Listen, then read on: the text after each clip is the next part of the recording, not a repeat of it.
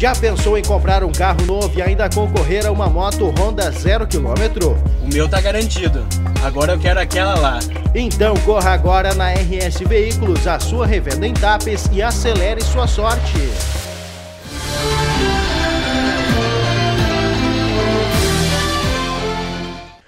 O DENIT atendeu ao pedido da comunidade do bairro Pedras Brancas, em Guaíba, e alterou o projeto de acesso previsto nas obras de duplicação da BR-116.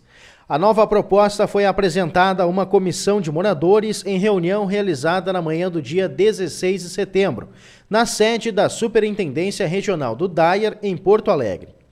Engenheiros da empresa responsável por supervisionar as obras na região destacaram que a solução consiste em um modelo híbrido de viaduto e passagem inferior a ser construído no quilômetro 307 da rodovia. O tráfego passará por uma elevada com vão de 4,80 metros, 80, permitindo a entrada e saída de veículos leves pelas ruas laterais. Da mesma forma, ficará contemplada a passagem de pedestres por debaixo da estrutura. Já os caminhões mais altos poderão utilizar os retornos que estarão próximos do acesso em ambos os sentidos.